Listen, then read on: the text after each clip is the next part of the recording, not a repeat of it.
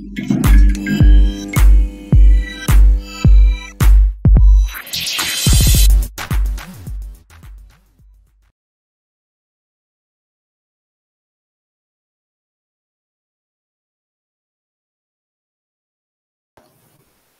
Herzlich willkommen zur zweiten Session hier im Digital Workplace Track. Wir haben Dominik Bersau von Vodafone da und er erzählt uns etwas zum Intranet bei Vodafone mit dem außergewöhnlichen Namen Elvis. Ich bin gespannt, ob wir erfahren werden in der Präsentation, wie es denn zu dem Namen kam. Wenn nicht, ähm, stellt gerne eure Fragen auch schon während der Präsentation. Ähm, wir haben im Anschluss nicht allzu viel Zeit, diese direkt zu klären, aber der Dominik steht dann auch noch ähm, zur Verfügung und kann dann im persönlichen Gespräch eure Fragen klären. Und damit gebe ich ab und viel Spaß. Ja, vielen Dank.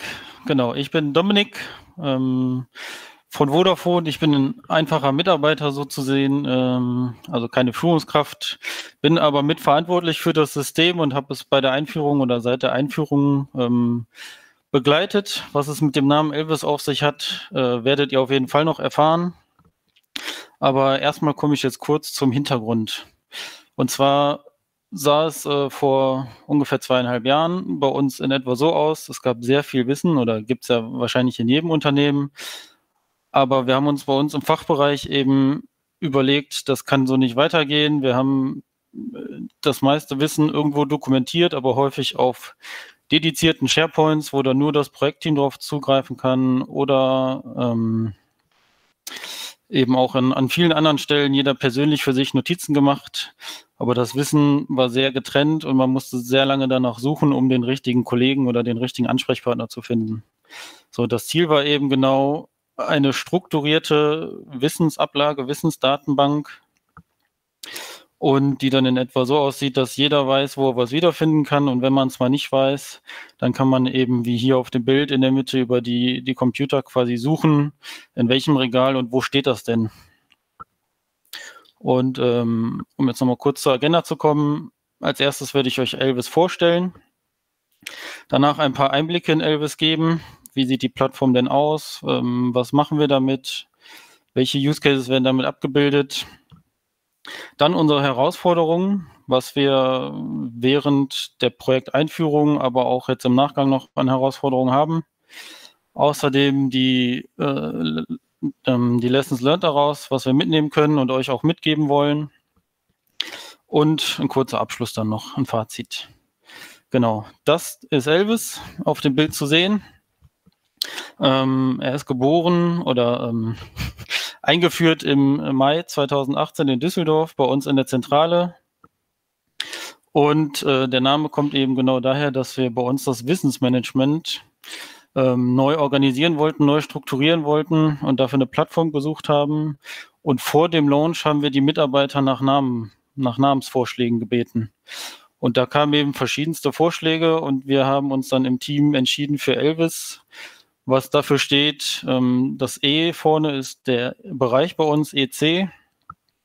Das L für Lernend, Lernendes und WIS dann eben für Wissensmanagement, also EC ist Lernendes Wissensmanagement. Und das steht eben dafür, dass es der Wissensträger bei uns im Vodafone Business Bereich ist. Also wichtig, nicht ganz Vodafone arbeitet damit. Bei uns gibt es verschiedene Instanzen von Giro und Confluence. Wir sind nur eine davon mit dem Fokus auf unser Business. Das Ganze ist eben ein Linchpin-basiertes Confluence. Das werdet ihr gleich dann wahrscheinlich auch wiedererkennen, für alle, die es schon nutzen. Ähm, es ist ein selbstlernendes System. Das heißt, wir haben kein Redaktionsteam in dem Sinne, was die Inhalte dort einstellt, sondern alle Nutzer sollen ihr Wissen dort ablegen und können eben auch von dem Wissen der anderen profitieren. Und das funktioniert eben nur, indem es jeder auch, ähm, auch sich beteiligt. Genau, wir haben eine intelligente Suche, die gab es nicht von Beginn. Wir haben aber schnell festgestellt, dass die Confluence Standardsuche uns da immer wieder eine Hürde oder gerade bei den Mitarbeitern eine Hürde stellt, ähm, die wir umgehen wollen. Da komme ich dann gleich auch nochmal kurz zu. Und zum Abschluss dann noch, es sollte immer und überall verfügbar sein. Also dieses, okay, SharePoint geht nur aus dem Intranet oder ähm, nur wenn ich im, im VPN eingewählt bin und nicht vom Handy und so verschiedenste Einschränkungen, das wollten wir eben umgehen oder aushebeln. Dann ein paar KPIs Wir haben im Moment etwa 700 Nutzer. Ähm, Im Schnitt circa 40.000 Views, mal mehr, mal weniger. Jetzt äh, durch Corona hat sich das auch kaum verändert. Also es wird eigentlich ähnlich gelebt wie vorher das System. Wir haben in etwa 370 Bereiche, in denen das Wissen zum Beispiel aus Projekten, die Use Cases kommen ja gleich noch, aber ähm, in die das Wissen kategorisiert ist, strukturiert ist. Wir haben dabei etwa 65.000 Seiten. Ähm, ich weiß, das sind sehr viele oder wir wissen es selber. Wir überprüfen auch gerade oder sind jetzt schon länger dabei, mit der Archivierung zu beginnen, weil hier viele Seiten auch einfach äh, zum Beispiel Protokolle, Meeting Minutes aus Projekten sind, ähm, die natürlich jede Woche oder auch mehrmals wöchentlich angelegt werden und in, in, der Regel aber auch dann nach einem Jahr spätestens nicht mehr gebraucht werden, sodass wir da jetzt die Archivierung starten und dann ähm, werden die aktiven Seiten deutlich weniger. Außerdem haben wir eine sehr hohe Verfügbarkeit, da ein großes Dank und Lob an die Zusammenarbeit mit unserer Group IT, ähm, da die bei uns das Hosting übernimmt. Und es ist mittlerweile, das war nicht von Anfang an so, eben auch von allen Devices und ohne VPN-Verbindungen verfügbar. Man kann sich dann über eine Zwei-Faktor-Anmeldung, äh, Zwei-Faktor-Authentifizierung anmelden und so kann jeder auf das System dann zugreifen. Dann der erste Einblick. Wie sieht die Startseite aus? Und äh, was sind da so die, die Elemente? Wir haben als erstes mal die, das Navigationsmenü. Ich glaube, das hat man hier fast überall gesehen. Wer die Tracks hier, äh, wer die Vorträge hier in dem Track verfolgt hat. Also die Hauptkategorisierung mit äh, entsprechenden Unterelementen, wo die Kernbereiche eben verlinkt sind. Dann haben wir aber auch, äh, um es den Usern ansprechender zu machen, noch eine Visuali äh, Visualisierung der Hauptkategorien mit den äh, Teaser-Icons.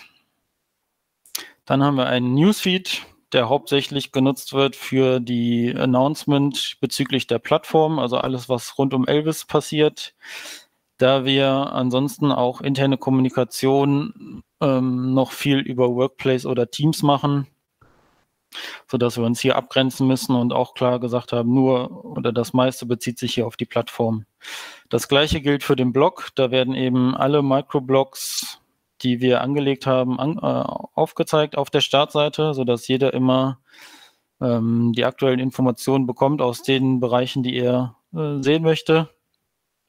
Auch hier wird es hauptsächlich für Ankündigungen oder Informationsweitergabe ähm, genutzt und weniger zum Austausch, da wir hier eben auch häufig dann über Teams oder äh, den Workplace schon eine entsprechende Plattform haben oder vorher schon hatten. Und das App Center, ähm, damit man eben auch die wichtigsten Links zu den anderen Anwendungen im Unternehmen hat. Und man sieht es oben rechts, oder ich weiß nicht, ob man es erkennen kann, aber da ist nicht das Standard-Such-Icon, sondern wir haben das Ganze eben überschrieben mit der Vodafone Business Search. Hier ein Dank an die Intrafind, da haben wir den iFinder entwickelt. Und das hat eben den Hintergrund, dass wir zum einen die Confluence-Suche an sich schon vor zwei Jahren jetzt, glaube ich, ersetzt haben. Und zum anderen aber auch äh, die Möglichkeit haben wollten, weitere Quellen anzubinden. Das heißt, wenn man hier was in der Suche eingibt, dann findet man nicht nur Elvis-Ergebnisse, also Confluence, sondern auch Ergebnisse aus dem Jira aus, äh, und auch aus anderen, aus unserer Marketing-Plattform zum Beispiel. Die haben strukturiertes Wissen abgelegt, die, da greifen wir auch drauf zu und äh, auf unsere Produktinformationen, sodass man hier eben suchen kann, wonach man möchte oder alles, was bei uns im Bereich benötigt wird. Und man findet eigentlich immer den, den relevanten Treffer, egal ob es im Confluence ist oder auch eine andere Wissensplattform.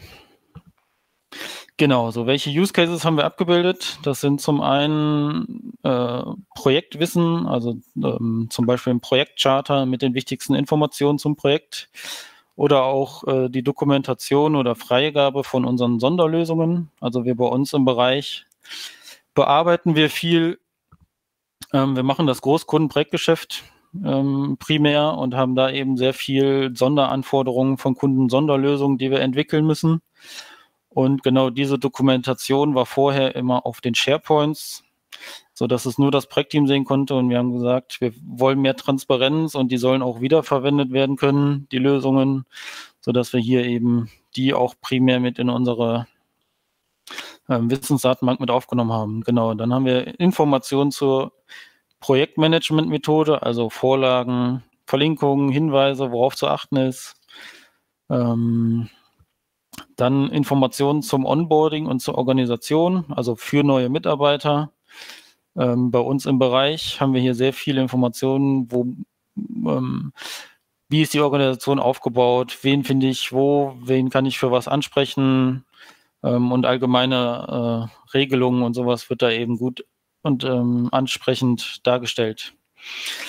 Dann wird es auch genutzt, um, um Workshops oder entsprechende Tutorials oder How-Tos ähm, durchzuführen oder vorzustellen, zu dokumentieren, darin in Workshops auch gemeinsam an Seiten zu arbeiten. Also wir haben diese Real-Time Collaboration aktiviert, sodass man gemeinsam auf der gleichen Seite arbeiten kann.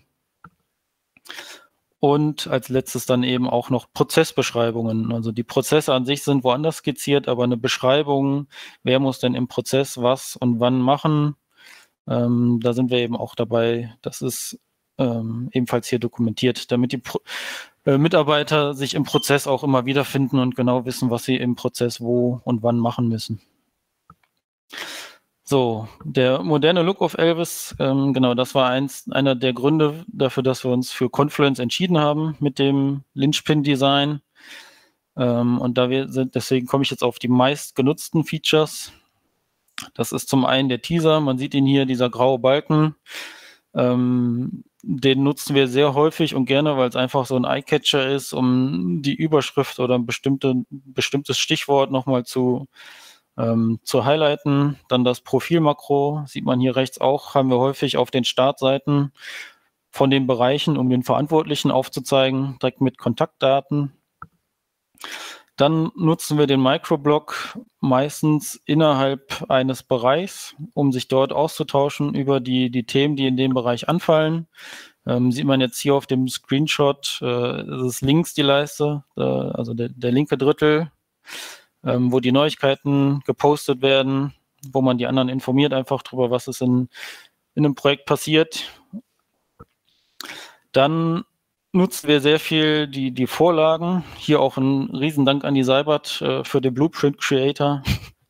Das hat uns das, äh, das Thema Vorlagen nochmal die oder die Akzeptanz dazu nochmal erhöht, indem man einfach so ein Eingabeformular anzeigen kann, die wichtigsten Informationen abfragen, der, der Nutzer drückt auf Speichern und die Seite ist direkt erstellt. Also das äh, wird sehr gerne genutzt. Und dann generieren wir häufig daraus eben ähm, Tabellen mit Seiteneigenschaften, sodass wir uns dann Berichte entsprechend daraus erstellen können. Wie man hier jetzt sieht, zum Beispiel unsere How-Tos sind dann entsprechend mit einem Label immer versehen, sodass man sie hier in der Liste aufzeigen kann und dann mit einem Tabellenfilter versehen, sodass man hier dann einfach auch filtern kann nach einem bestimmten Thema oder ähm, nach anderen Informationen, genau. Und äh, Draw.io wird nicht von allen gern genutzt, aber die, die es ein oder zweimal genutzt haben, lieben es eigentlich. Äh, deshalb hier mal ein Beispiel von einem Diagramm, was mit Draw.io erstellt ist. Und das ist eben auch, was ich persönlich oder ich glaube äh, einige andere Kollegen nicht mehr missen wollen, da man hier sehr schön, schnell, einfach Diagramme erstellen kann und die halt auch super in die restlichen Informationen und Seiten integrieren kann. Das ist eben auch einer der, der Vorteile. Und zum Abschluss dann noch der, die Kalenderfunktion. Wir haben ja den Teamkalender und der wird auch äh, gerne jetzt ähm, auf Projektebene genutzt, um eben die Projekttermine ähm, aufzuzeigen. Ähm, oder hier bei uns in dem Fall jetzt auch zum Beispiel für Abwesenheiten oder Homeoffice-Planung. Äh, hat sich im Moment dann erübrigt, aber grundsätzlich haben wir das lange Zeit auch genutzt, um zum Beispiel die Homeoffice-Tage Tage, äh, zu planen und transparent zu machen. Genau. Dann kommen wir zu den Herausforderungen. Hier als allererstes ähm, die Anforderungen, also nicht nur IT, sondern generell, aber speziell die IT hatte hohe Anforderungen an das Hosting. Es muss sehr sicher sein. Wir hatten ähm, lange überlegt, ob man das extern hosten lässt oder welche Möglichkeiten es sonst noch gibt. ähm, sind dann ähm, am Ende aber dann doch zu einer anderen Lösung gekommen, da komme ich gleich zu. Die zweite Anforderung ist eben die Verantwortlichkeiten intern klarzustellen. Wer ist auf Systemebene für was verantwortlich? Wer, wo sind die User für verantwortlich? Und ähm, wo ist das Management oder welcher Bereich ist für was verantwortlich? Dann DevOps. Wie entwickeln wir das System weiter? Wer betreibt es? Hängt so ein bisschen mit den Verantwortlichkeiten zusammen.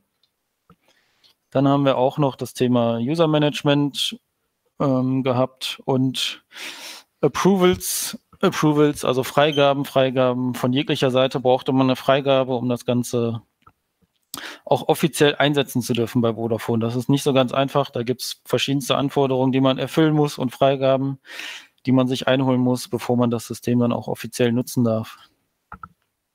Genau, was haben wir jetzt gegen die, das äh, Hosting-Problem gelöst? Wir haben die Security sehr früh eingebunden und sind dann am Ende eben zu dem Ergebnis gekommen, dass wir das Ganze intern hosten müssen, ähm, damit wir die, die Daten, die wir darauf ablegen wollen, auch darauf speichern dürfen und damit arbeiten dürfen. Deshalb haben wir dann die Group IT involvieren müssen, die das System jetzt am Ende auch betreiben. Ähm, bezüglich der Verantwortlichkeiten haben wir eben dann relativ schnell ein Verantwortlichkeitsmodell nach der äh, Raki-Matrix aufgestellt um klarzustellen, okay, welcher Bereich oder welcher, ähm, welcher Beteiligte muss, ist für was in Verantwortung, welche Rolle muss was übernehmen. Dann bezüglich DevOps, nachdem geklärt war, dass die Group IT des äh, Operations übernimmt von dem System, ging es noch um die Entwicklung und da haben wir uns für ein agiles Entwicklungsmodell entschieden, so dass wir jetzt regelmäßig in die ähm, also immer noch wöchentlich uns zusammensetzen und gucken, was sind die Anforderungen, hat sich was geändert, müssen wir was Neues ausprobieren, haben wir neue Ideen, neue Wünsche von den Usern. Und das ähm, wird eben jede Woche dann auch besprochen im kleinen Team, sodass wir da immer ein aktuelles System auch haben und den Anforderungen der, der Nutzer entsprechen. User Management ähm, mussten wir oder haben wir uns am Ende für ein manuelles User Management entschieden da wir die, ähm, die Anbindung an unser LDAP nicht ohne weitere zusätzliche Herausforderungen lösen konnten ähm, und der Prozess dann sehr umständlich wäre, auch für die User, haben wir gesagt, na, wir machen das erstmal manuell. Das war eigentlich die Idee, das später umzuschalten. Wir sind jetzt aber immer noch dabei, da sich das so auch gut eingelebt hat, wir so die beste Kontrolle über neue äh, Nutzer in unserem System auch haben. Und ähm, nachdem einmalig alle angelegt waren, ist es ja auch äh, eher selten, dass man größere Mengen an Usern nochmal anlegen muss. Von daher ist der Aufwand hier auch in Ordnung. Und bei Approvals, Approvals, ähm, da hat nicht viel geholfen, außer sich eine Liste zu machen, welche Approvals alle benötigt werden und die dann eben nach und nach abzuhaken, sobald sie erteilt wurden. Und das Ganze eben zu dokumentieren, sodass man immer weiß, was fehlt noch, wo, wo sind wir fertig und was ist freigegeben. Genau. Dann die zweite Challenge, äh, ich glaube, das hat man auch in vielen Vorträgen jetzt vorher schon gehört. Ähm, die Mitarbeitersicht.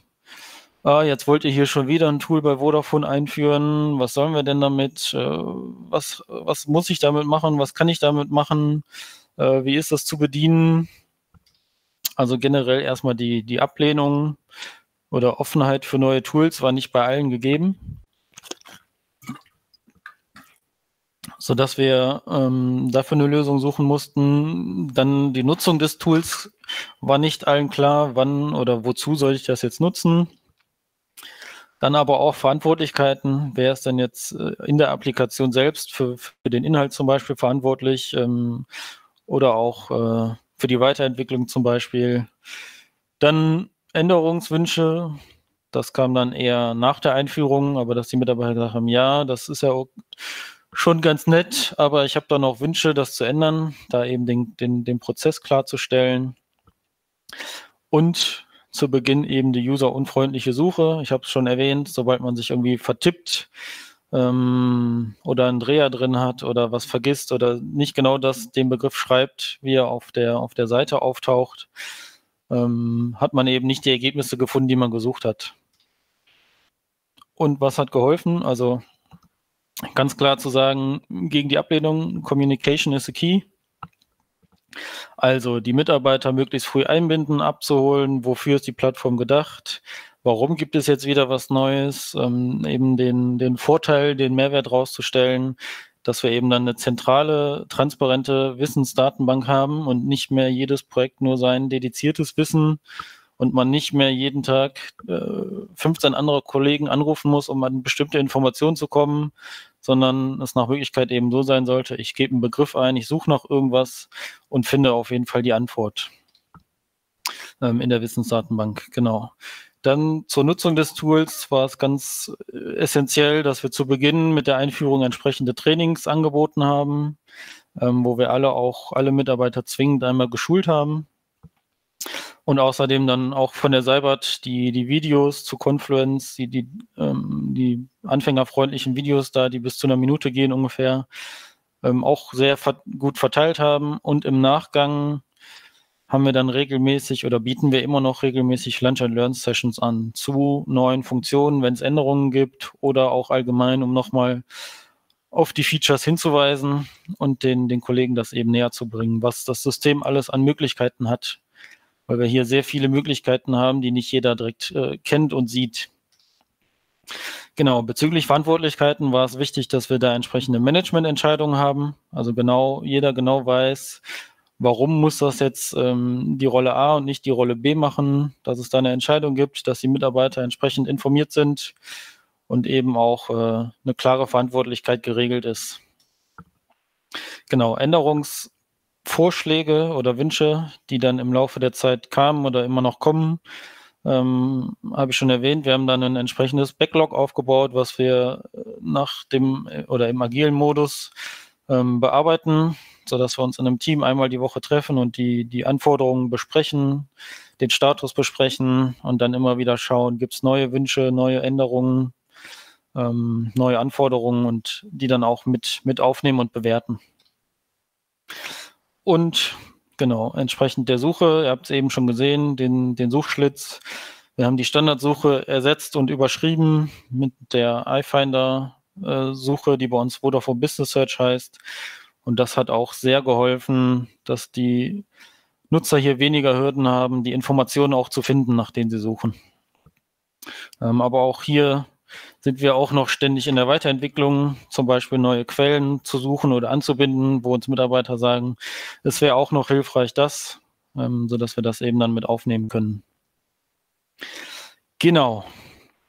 Was wir jetzt daraus gelernt haben oder euch, was ich euch mitgeben möchte, ist ähm, in so einem großen Unternehmen wie Vodafone, wo man nicht nur in seinem Fachbereich ist mit schon über 200 Leuten, sondern darüber hinaus auch noch die Vodafone äh, Deutschland mit einer IT und einer Security.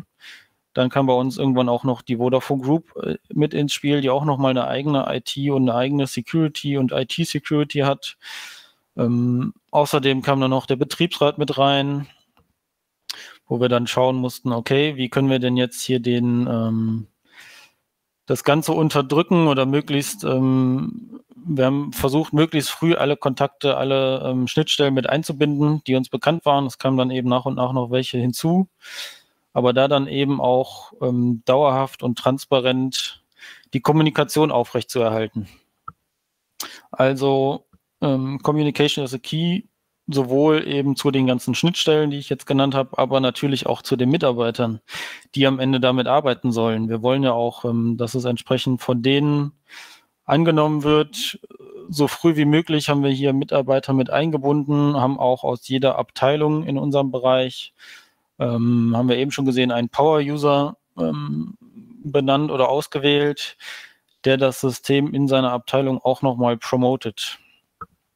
Vor allen Dingen auch im, zur Einführung eben, als da viele noch die Hürde hatten, das erste Mal das zu nutzen. Und ähm, da hat das eben sehr geholfen, dass wir uns auch da nochmal in einer kleinen Community mit allen Power-Usern regelmäßig ähm, ausgetauscht haben, um äh, die Änderungen, die wir eben in dem Entwicklungsteam ähm, besprechen, erstmal mit den Power-Usern ähm, auch zu besprechen und von da auch nochmal Wünsche mitzunehmen.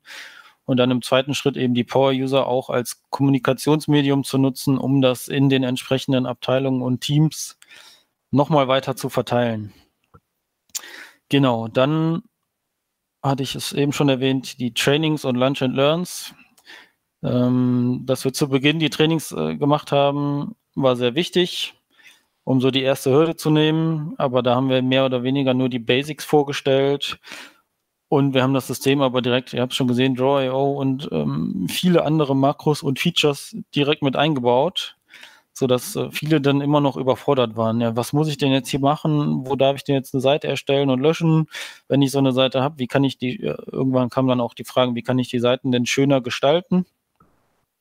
Ähm, hier müssen wir auch nochmal mit der Seibert wegen Aura sprechen. Habe ich mir schon notiert. Das äh, sieht sehr gut aus und kann mir vorstellen, dass das auch nochmal einige weitere Hürden nimmt.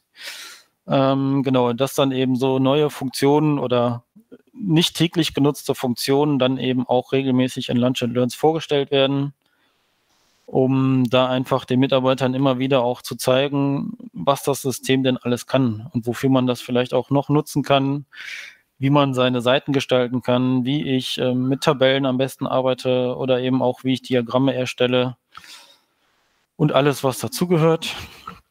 Und als letztes dann eben nicht das System einführen und dann so stehen lassen und sich denken, das läuft schon, sondern wir müssen ständig weiterentwickeln und ähm, da eben auch gucken, dass wir regelmäßige Updates machen, aber auch äh, neue Features von außen mit einbringen, vielleicht auch die bestehenden mal hinterfragen, werden die denn überhaupt so genutzt, wie wir das gern hätten? Oder können wir das Ganze noch irgendwie umstellen? Genau.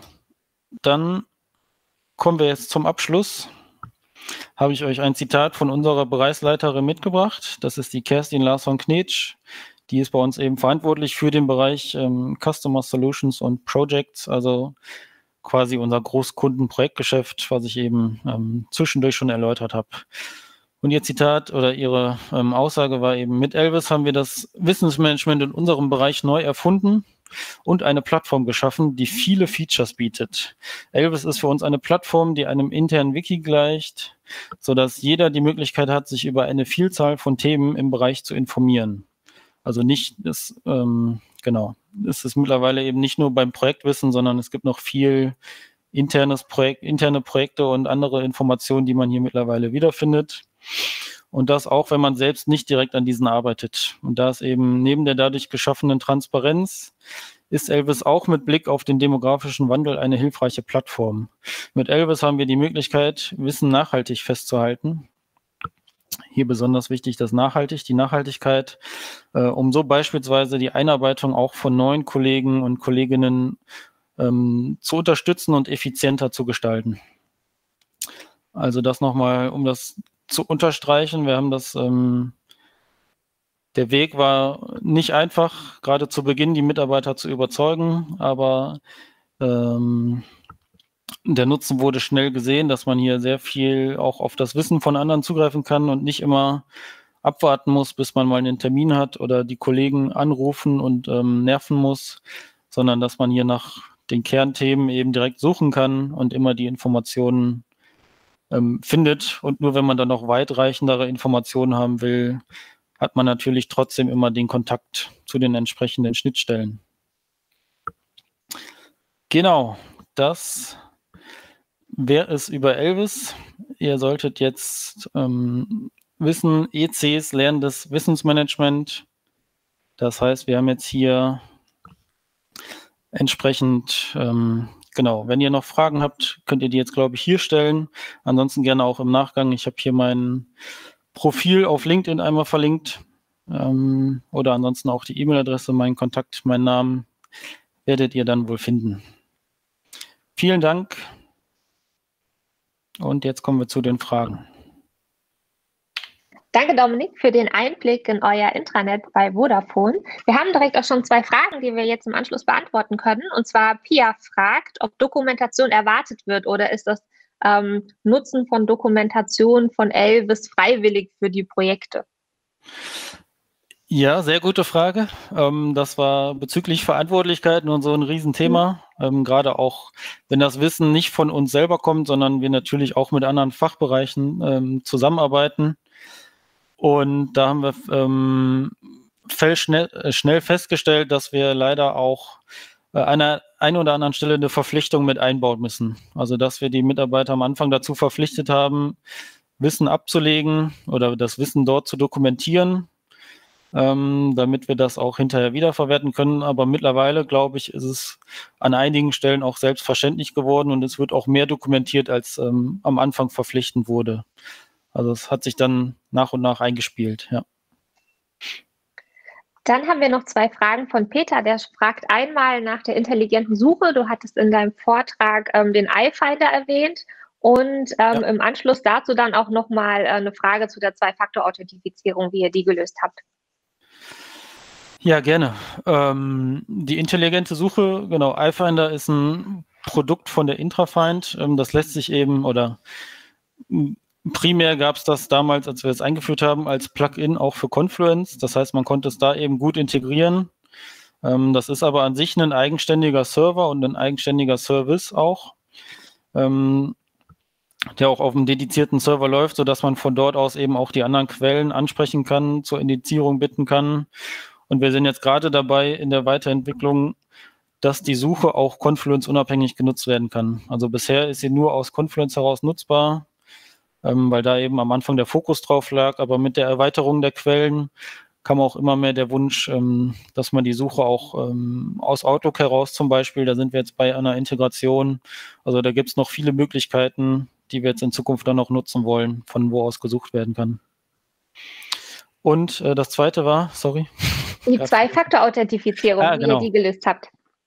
Ähm, da haben wir von unserer Group IT eine, eine zentrale Lösung das heißt, da gibt es einen Sammel, über den man sich dann einmalig, das ist die Semantic VIP ähm, App auf dem Handy, über die man sich dann eben authentifizieren muss. Das Ganze muss eben mit dem Vodafone-Rechner einmal verbunden worden sein. Und dann kann man das aber von jedem Device aus mit seinem Standard-Windows-Account äh, nutzen und sich dort anmelden. Also da haben wir das, die Verknüpfung zum Vodafone Directory, genau.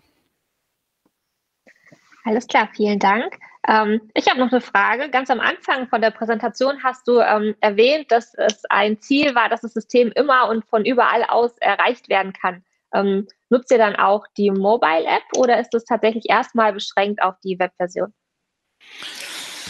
Ähm, hatten wir am Anfang überlegt, mhm. äh, haben wir aber bis jetzt nicht. Jetzt im Moment kommt das Mobile äh, oder, seit Corona. Davor waren wir eigentlich noch mal in dem Entwicklungsteam dabei zu überlegen, wie können wir Mobile noch weiter ausrollen, auch ähm, vor allen Dingen auch Jira, jetzt mit der neuen Jira-Version, die dann kam, äh, hat sich durch Corona ein bisschen erledigt, da die meisten jetzt ja eh zu Hause sind, mhm.